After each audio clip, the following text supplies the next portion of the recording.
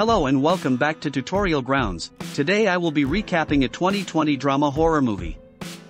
Cole, a high school junior, finds himself in a predicament two years after the incidents depicted in the initial movie. Despite his best efforts, he fails to convince anyone, except his loyal friend Melanie, that his ex-babysitter be led a sinister cult that attempted to take his life. To his dismay, Cole discovers that his parents have enrolled him in a psychiatric school. Determined to break free, he manages to escape with Melanie and is accompanied by her new boyfriend Jimmy, as well as their pals Boom Boom and Diego, in their quest to join a lakeside celebration. During the gathering, Cole is a witness to a peculiar occurrence involving a recent addition to their group, Phoebe. As the festivities progress, Cole's companions engage in a party game aboard a boat. Unexpectedly, Melanie turns on Boom Boom, resulting in his demise. It is then that she discloses her alliance with the cult, explaining that she joined their ranks to fulfill her aspirations of attaining fame as an influencer. Shockingly, both Jimmy and Diego are also revealed as members of this cult. The cult members, driven by their quest for fulfilling desires, require another innocent sacrifice in the form of Boom Boom's blood, having used it previously for this purpose. Unexpectedly, the original members of the cult, namely Sonia, Allison, Max, and John, make an appearance as they have been resurrected to partake in the ritual, otherwise, they face death at sunrise. However, a glimmer of hope arises when Phoebe suddenly arrives in search of gasoline for her jet ski. This unexpected interruption grants Cole a window of opportunity to evade the pursuing cultists and flee alongside Phoebe on her jet ski. Once safely on land, Cole divulges the entire truth to Phoebe, who genuinely believes him. Meanwhile, the cultists give chase in their relentless pursuit. Sonia is the first to make an attempt on their lives, but by a stroke of luck, they unintentionally run her over with an abandoned car. To their horror, a surfboard dislodges from the vehicle and ends up decapitating her. Later, Allison tracks them down, but they manage to trap her between a narrow gap among rocks before mercilessly tearing off her head.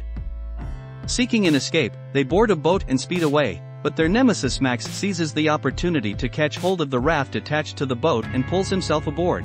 However, Phoebe cleverly utilizes a can of silly string and a lighter to set him ablaze, while Cole inflicts severe damage on him using the propeller blades of the boat.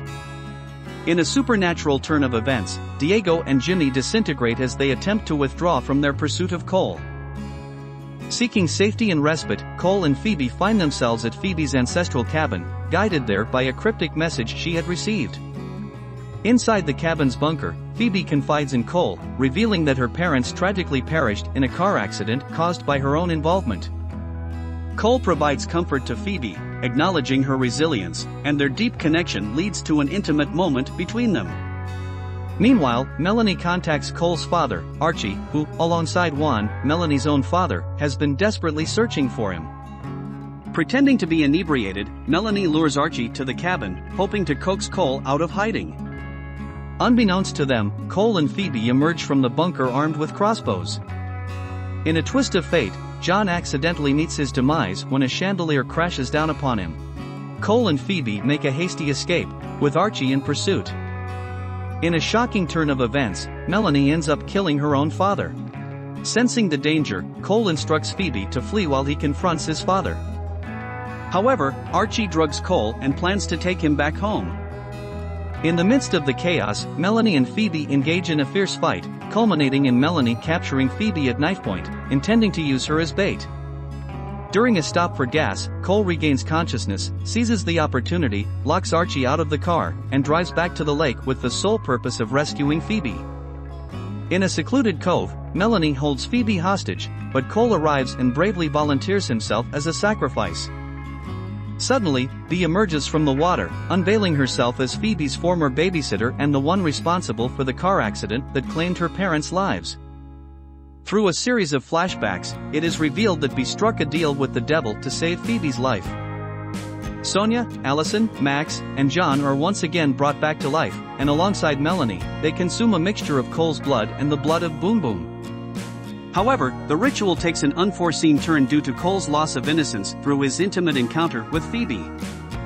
As a result, the five individuals experience a catastrophic backfire, melting and disintegrating into oblivion.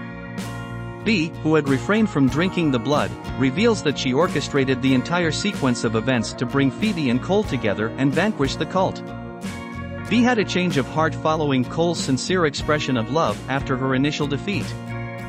However, as remains a demon at her core, she sacrifices herself by consuming the blood, leading to her own disintegration, all to ensure the survival of the two young protagonists. Archie arrives on the scene, witnessing Bee's selfless act and finally believing the truth of Cole's claims. With the arrival of Dawn, Cole and Phoebe find solace in each other's embrace, sealing their bond with a tender kiss. The movie ends here, click the subscribe button if you enjoyed the video.